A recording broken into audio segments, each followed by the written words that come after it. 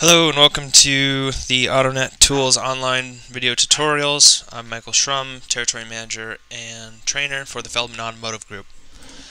The next section we're going to go over here is um, basically just how to upload your photos every day. So over on the left here we have all the vehicles that I completed today, uh, just the new and then on the right here I have vAuto which is already up. I'm under the merchandising photo management tab and I just went ahead and cleared out all the filters except uh, retail. So all I'm doing here is I'm on number three. I'm just going to transcribe that over here. Click go. And now it's going to get me my 2015 Chevy Camaro. From here I just click on add images. And once this comes up, you see here I'm, I'm nice and organized. This is where kind of the organization of the folders is going to pay off. If I was just looking at my desktop like this, you can see how I can go from AutoNet Tools. I can locate today, which is the 26th by uh, August.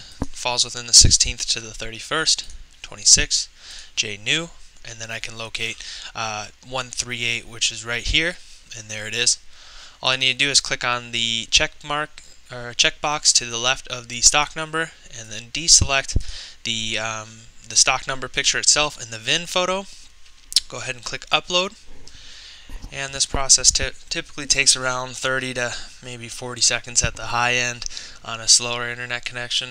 Um, see here this was only that was about 10 seconds from start to finish and then it's just gonna wrap everything up here this last photo there we go. Um, saving.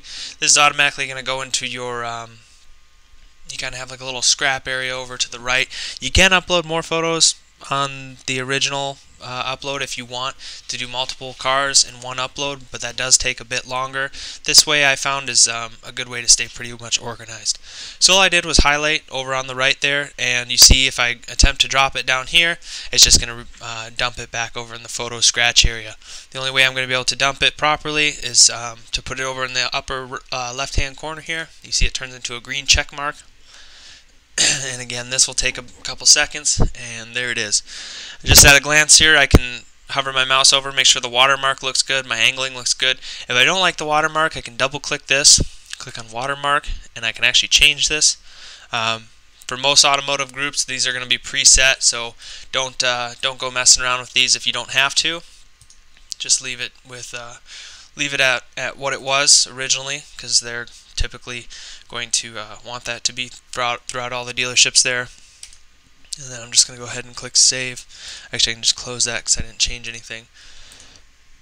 And from there, all I'm going to do is save and close. And pretty much rinse and repeat. So if I want to make sure that uh, that I did upload it and want to make sure it's in there, I'll just click Go again. You see it changed from 0 to 41 photos. And now we know that uh, the photos are online and, and ready to go. So if you have any additional questions about how to get this accomplished, just contact your local territory manager.